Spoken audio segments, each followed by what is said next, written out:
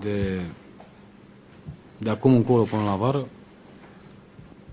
Dacă echipa va avea rezultate bune, mă gândesc de ce nu, pentru că o spun la nu știu câte oară că asta îmi doresc să fac după ce îmi închei cariera de jucător.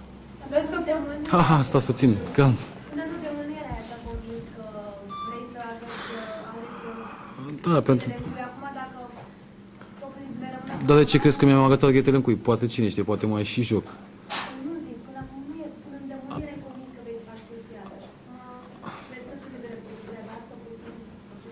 A, cu siguranță da, dacă am plecat totuși și am acceptat să fac asta până la vară, da, probabil se va grăbi acest, uh, puțin acest proces, dar uh, uh, ce să zic, uh, în acest moment sunt uh, antrenorul echipei, iar de mâine uh, voi fi ajutat, voi colabora cu domnul Emil Ursu și cu Mircea Oaidă, o să-i cunoașteți personal de săptămâna viitoare.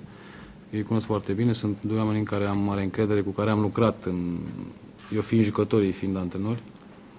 Uh, ei vor uh, veni de mâine de la, la Ploiești, iar de, începând de, dumin- de mâine vor intra în programul echipei. Claudiu, vezi că universitatea, te mai gândești că universitatea poate să-și îndeplinească obiectivul acum că ești la forma echipei?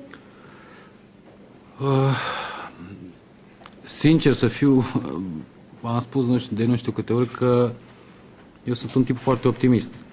Dar înainte de a fi optimist, sunt uh, realist. Îndeplinirea obiectivului, ocuparea, adică ocuparea una dintre locurile 1-5, este un obiectiv în acest moment foarte greu, pentru că sunt deja șapte puncte, dacă nu mă înșel, față de locul 5.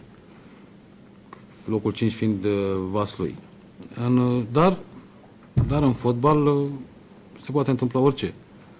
Dacă vom avea un parcurs bun, să vom reuși să legăm câteva victorii, două, trei, sau de ce nu mai multe, de acum încolo, mai putem spera la îndeplinirea acestor obiective. Dar, uh, repet, va fi foarte greu. Va fi foarte greu pentru că uh, am început destul de, de rău acest retur de campionat. Te gândești să faci schimbări în echipa să te oferă inclusiv la schimbarea stilului de joc?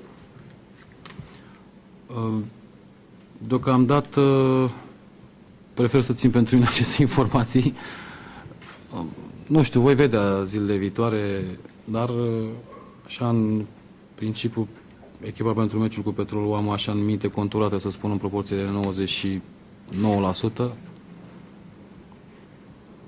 Și prefer să nu vă spun acum. Dar pe viitor, așa ca strategie, trebuie să fii un antrenor jucător.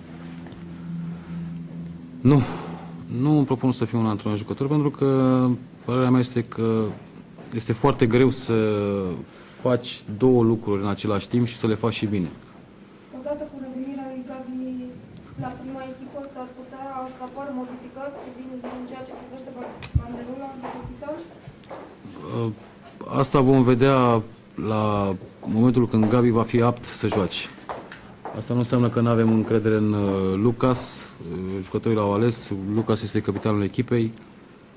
Uh, Vom mai avea discuție pe această temă pentru că nu este un lucru foarte important. Important este să, să fim noi uniți în vestiar și noi și împreună cu toți jucătorii, iar uh, acest lucru cu banderul este un lucru mai puțin important, pe părerea mea.